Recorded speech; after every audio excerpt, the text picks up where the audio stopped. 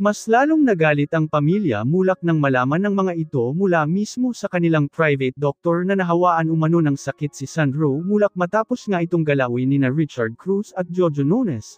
Ayon sa nakalap naming impormasyon matapos daw ang naging medical check-up kay Sandro ay lumabas daw sa resulta na nagpositibo ito sa sakit mula daw mismo sa dalawang GMA executives. Ayon kay Ninyo Mulak sisiguraduhin daw nitong mabubuyok sa bilangguan sina Jojo at Richard dahil sa kahayupang ginawa ng mga ito sa kanyang anak.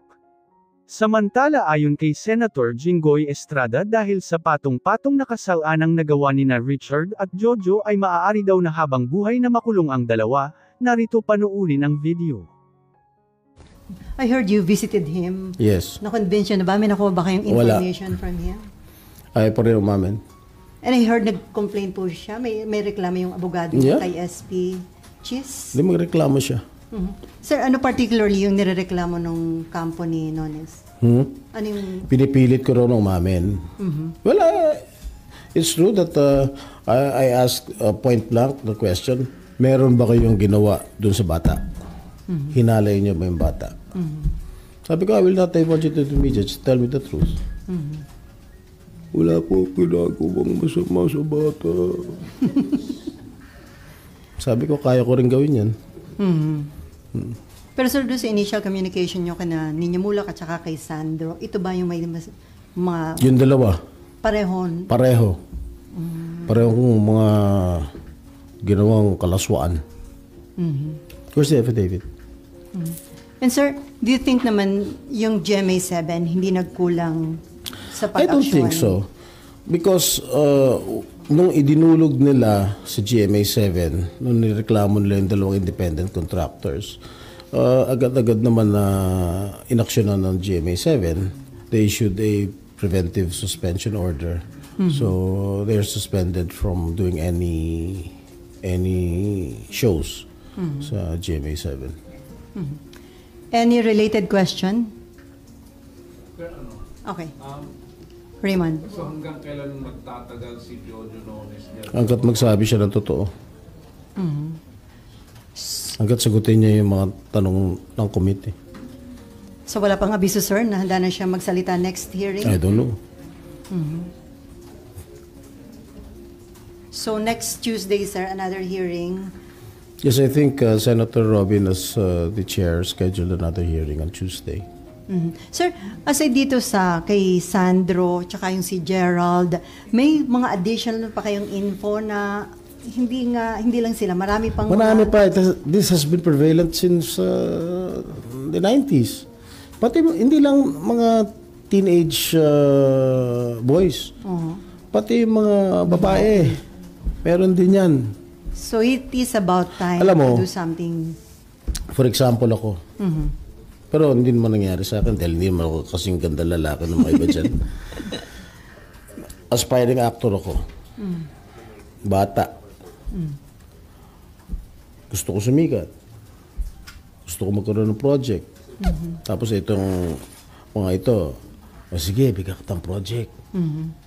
Ah, kakast kita sa ganyan, ganyan. They're luring, nilulure nila yung mga bagong bagong artista. Siyempre, ako, gusto ko sumikat, Mhm. Susunod ka na. susunod ako.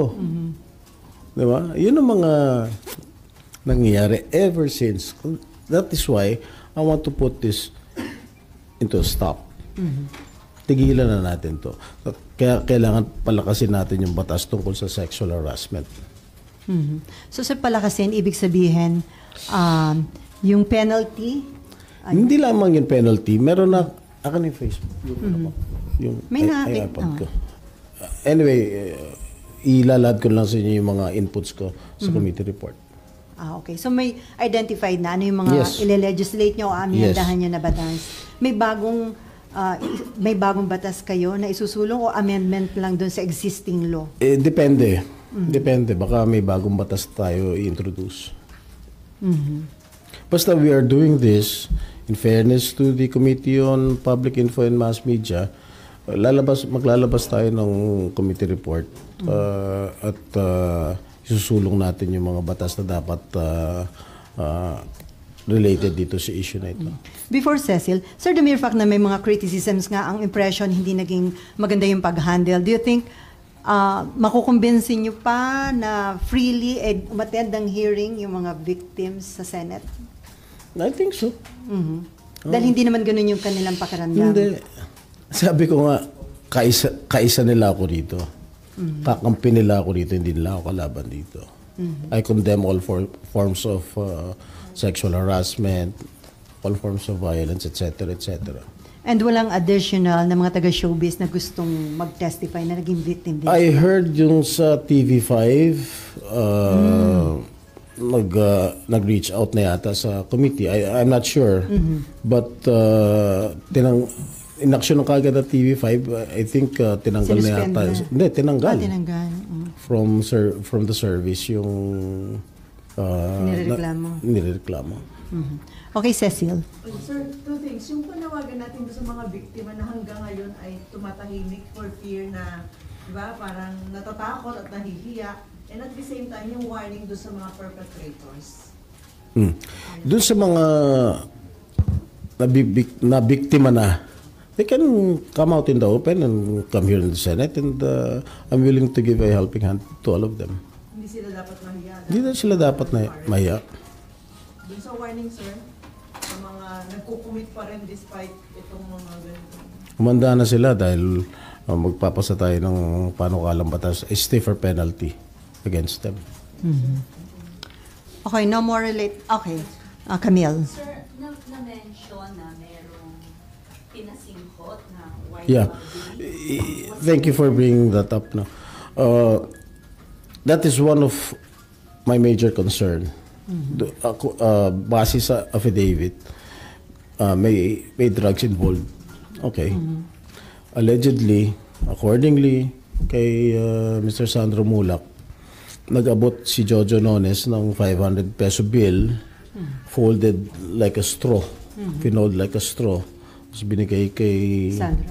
kay Sandro, tinanong ni Sandro, para saan po ito? Akala ni Sandro pambayad ng parking fee or whatever.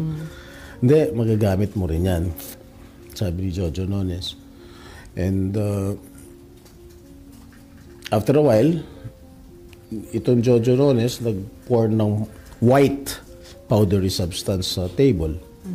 Tapos meron yatang yung key card sa hotel. Parang ginanong ganun. Parang, parang pinapino yata yung Yung powder. powdery substance para maging smooth. And then, after which, pinasinghot ni Jojo Nones si Sandro. Sandro. At umayaw si si Sandro, hindi po ako nagda-drugs, hindi po ako nagda-drugs. Eh siguro, nag-wine na na nag-wine, pinainom ng pinainom nung dalawang independent contractors, Nung dalasing. siguro na hilo, tumikim ngayon ito, pinatikim. Ah, pinasinghot. I mean, sa isang butas lang daw ng ilong. So medyo na, I do not know what kind of uh, drugs. Yung uh, but it, it appears according to based on my own investigation it appears to be cocaine.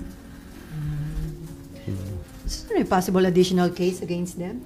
yes yes. Where did they get those drugs? And who supplied them those drugs? Natanong niyo sila, sir, about that?